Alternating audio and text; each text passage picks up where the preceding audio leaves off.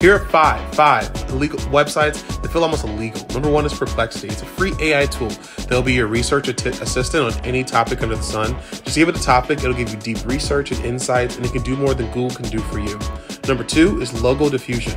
This is an AI tool that'll create professional looking logos from simple drawings and sketches. So you don't have to hire a logo designer anymore. Save that money.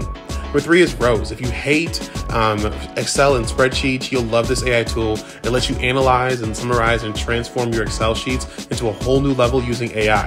Impress your boss with this tool. Number four is this is Moment. This tool is for all of those of you who have app ideas but don't know how to code like me. It helps you build professional looking web apps with zero coding knowledge using AI alone. Anyone can start making apps now. Number five is Playground AI. This AI tool can create stunning images just by describing them, and it uses advanced AI algorithms to generate really cool images just from text descriptions. You already know, you want more AI, follow at Tech Pastor.